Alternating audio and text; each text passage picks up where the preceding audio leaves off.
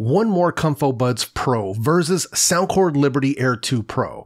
That is the question that has been coming up time and time again in the comment sections of my videos. And in this video, I'm going to be telling you which one is going to be the right one for you based on sheer performance. Now, if you're interested in checking out either of these earbuds, check out the links in the description box down below. And if you have any questions or concerns about the way that I review or receive any of these products, I'm also going to leave the full disclosure right down there as well. So let's not waste any more time. So first, let's talk about the similarities. So both of these earbuds are running Bluetooth 5.0 along with AAC and SBC as their connection codecs. Both of them are also going to give you right around 35 feet to 40 feet worth of range. So anywhere from around 10 to 12 meters, give or take.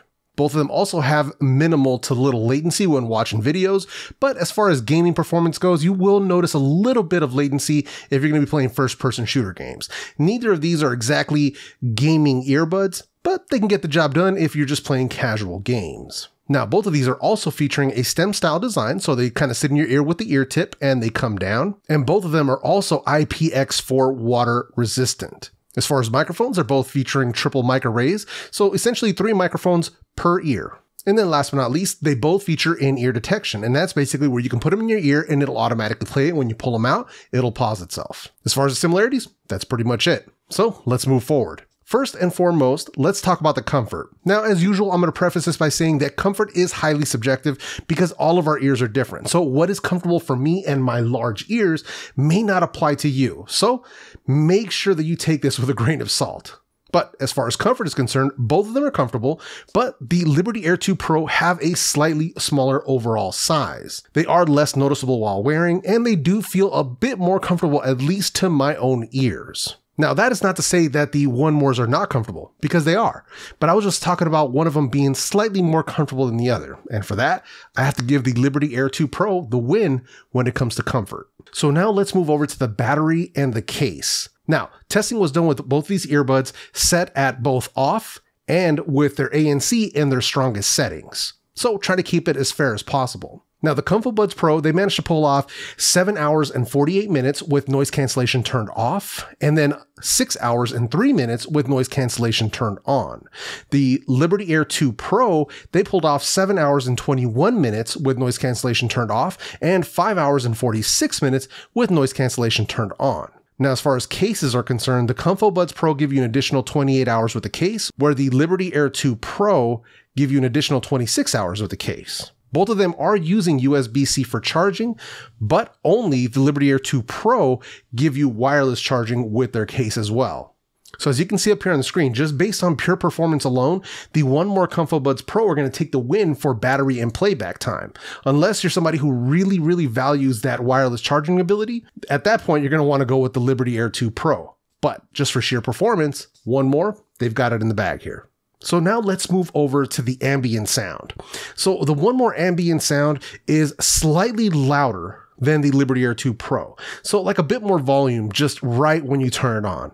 But on the other hand, the Liberty Air 2 Pro is giving you dual modes for their ambient sound. So it seems like the Liberty Air 2 Pro is actually a little bit better at reducing the background noise with improved focus on voices. And they do give you those two options where you can have the full ambient or where you can just have it focus on voices. And it does very good at distinguishing between the two. For me personally, while both of these are excellent at their ambient slash transparency modes, the win here is going to go for the Liberty Air 2 Pro. So that's going to bring us over to the active noise cancellation. So the way that I tested for this is I run airplane cabin noise. So like you're inside of a jetliner when it's at cruising altitude. So I use 85 decibels of that airplane cabin noise. And then I'll put both of these earbuds in their strongest noise cancellation setting. And I'll test them from there with my own ears to see which one is giving me better performance. So first, the one more. The ComfoBuds Pro were better at reducing the mid frequencies as well as the low frequencies. So definitely some strong noise cancellation happening here, where the Liberty Air 2 Pro were actually tending to struggle with the mid frequencies, but were very good at tuning out the lows. So overall, the win here for noise cancellation is definitely going to go to the one mores because you can audibly hear a difference in the strength of that noise cancellation. I was actually kind of surprised myself because when I was first just kind of trying them out casually, I couldn't tell much of a difference. But once I made sure I used the exact same tips and I was doing this test in a controlled way, you can definitely hear the difference. Now, next, let's move over to their companion apps because they both have companion apps. One More has a One More Music app and Soundcore has the Soundcore app. Now, the One More app is functional, but it does need some work. Sometimes it tends to crash on me when I'm using it on Android. So that's just one of the things that they might have to work on. Now, what it does offer you is the ability to do firmware updates, change the different control settings so you can change what the touch controls do, adjust between the different sound modes. So it does give you some of those types of options. But it's very basic. There is no EQ, no presets, or no sound quality adjustments here. Now, as far as the Soundcore app, it is easily superior. It's much more robust. It is much more fleshed out and it's never given me any issues with crashing, whether it's on iOS or on Android. They're offering you a full graphic equalizer, the Hear ID hearing test, where it'll give you a custom tune based on your own hearing. You also get the 22 presets. You get touch control configuration schemes in there as well, along with the different sound modes. So you can go through your three active noise cancellation modes and the two transparency modes, along with firmware updates and a bunch of different settings. Overall, it's also much cleaner and much easier to navigate. So as far as the companion app, the Soundcore app is going to be a win for the Liberty Air 2 Pro. So now let's move over to the volume. And for the volume, there is a clear winner, and that's going to be the One More ComfoBuds Pro. So let's say you've got the Liberty Air 2 Pro at their maximum volume. At their maximum volume, that's about 90% of what you're getting out of the ComfoBuds Pro.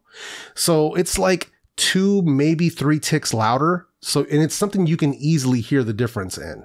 Now, for me personally, and just let me make this clear, for me personally, both of these are more than loud enough. I don't listen to either of these at 80 or 90 or, or 100%. I'm not that person. I'm trying to protect my hearing, and I suggest you do the same. But if you're somebody who needs that extra bit of volume, maybe you are hard of hearing, then the ComfoBuds Pro are definitely going to be the ones that you want to go with here. Now let's go ahead and segue over to the sound quality. Now the Liberty Air 2 Pro are very good and they are very versatile when it comes to being able to EQ them to your taste within their app. They have strong bass, they have, you know, a very dynamic punchy sound, especially in their signature mode.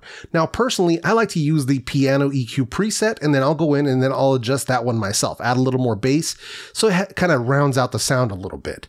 So overall, it does sound very good. On the downside, it sort of lacks a little bit of that soundstage, and some of the separation sometimes can get a bit muddy, especially if you start really picking it up into the higher volume ranges, which I really don't mess with anyway. But if you're kind of approaching that 90% volume, 95% volume, sometimes it can get a little out of whack in there. So you got to be careful with that. As far as sound quality for the One More, it is excellent. And the tuning itself, just right out of the box, is excellent. It is warm, it is rich. And as I said in the video for the One Mores, that tuning is exactly what I prefer. Like if I had the ability to EQ them myself, I would try to EQ them to the way that they sound already. Basically, that's what I would do. I wouldn't have to touch them. So the, the bass on them is perfect. It's tight. Uh, it isn't overpowering and it doesn't muddy up the mids.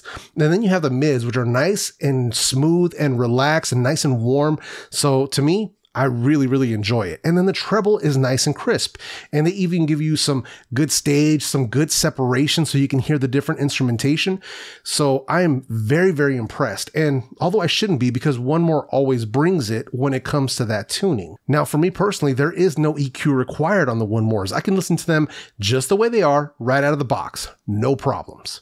Now, here's what it's going to come down to really what you prefer. But for me personally, when you consider the price tags here, 129 on the Liberty Air 2 Pro versus $99 on the One More ComfoBuds Pro. For me personally, the money better spent is going to be on the One More ComfoBuds Pro. That's just me personally. Now, I love both of these earbuds, but if it's just going to be for my own listening pleasure, I'm going to pick up the One Mores. That's just me. And that's not to say that the Liberty Air 2 Pro are bad because they are not. They are absolutely not bad.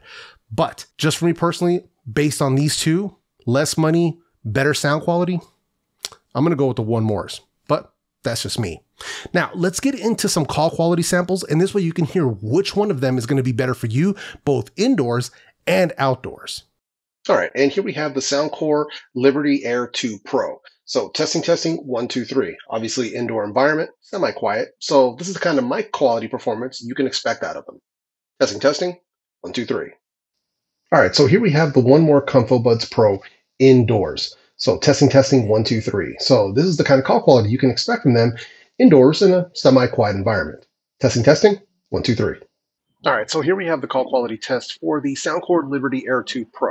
So testing, testing, one, two, three. Outdoors, it's actually pretty breezy today, so this should make for a good test. Testing, testing, one, two, three. All right, so here we have the call quality test for the One More ComfoBuds Pro. So testing, testing, one, two, three. Obviously, we're outdoors once again. Pretty breezy out here, nothing too crazy. Cars going by, so should make for a good test. Testing, testing, one, two, three. So, with all that said, if you want to check out the full reviews of either of these earbuds, check out the videos that I'm going to leave right up here. If you want to see my other top five for true wireless earbuds with noise cancellation under 100 bucks, check out the video that I'm going to leave right here. With that said, I'm out. Peace.